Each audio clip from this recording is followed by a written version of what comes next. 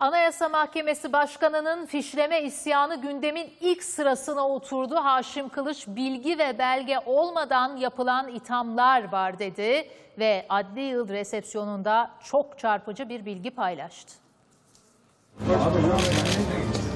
Hiçbir akıl sahibi devletin dışında yapılanmayı kabul etmez. Yargıda paralel yapı iddialarına bu sözlerle yanıt verdi. Anayasa Mahkemesi Başkanı fişlemelere isyan etti. Belge ve bilgi olmadan insanlar itham edilerek çok ciddi yanlışlar yapılıyor. Hem kendi kurumum hem diğer kurumlar için söylüyorum. İmzasız bir yığın dilekçe geliyor. Şu şucu, bu bucu diye fişlemeler yapılıyor. Yargı resepsiyonunda konuştu. Yüksek Mahkemenin tepesindeki isim çarpıcı bir bilgiyi paylaştı. Bana da fişleme usulü bir liste geldi ve ben o listeyi kaldırdım attım. Bütün kuruma ilişkin bir listeydi. Ne imza var ne bir şey var. Hiçbir şey yok. Kendine göre bir fişleme yapmış. Ancak benim kurumuma ilişkin olarak bilgi ve belge elime geçerse gereğini derhal yaparım. Devletin zirvesinin sabah katılmadığı adli yıl açılış töreninin akşamki resepsiyonunda konuştu Kılıç. Sabah törende olmayan başbakan bu kez davette vardı.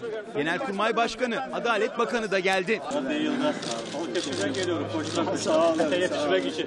Merhaba, iyi akşamlar. Kameraların alınmadığı resepsiyonda gözler Başbakan'ın ve Feyzoğlu'nun üzerindeydi. Feyzoğlu Başbakan'ın yanına gitti, tokalaştı ama hiç konuşmadılar.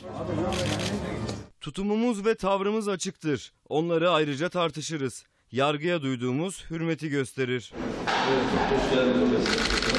Kılıçdaroğlu'nun Cumhurbaşkanı ile savaş halinde görüşürüz açıklamasına tepkisini sürdürdü Davutoğlu. Varsayımsal olarak konuşuyorum. Seçim kazandın. Ertesi gün görevi kim verecek ona? Sayın Cumhurbaşkanımız görev vermeden o göreve başlayabilir mi?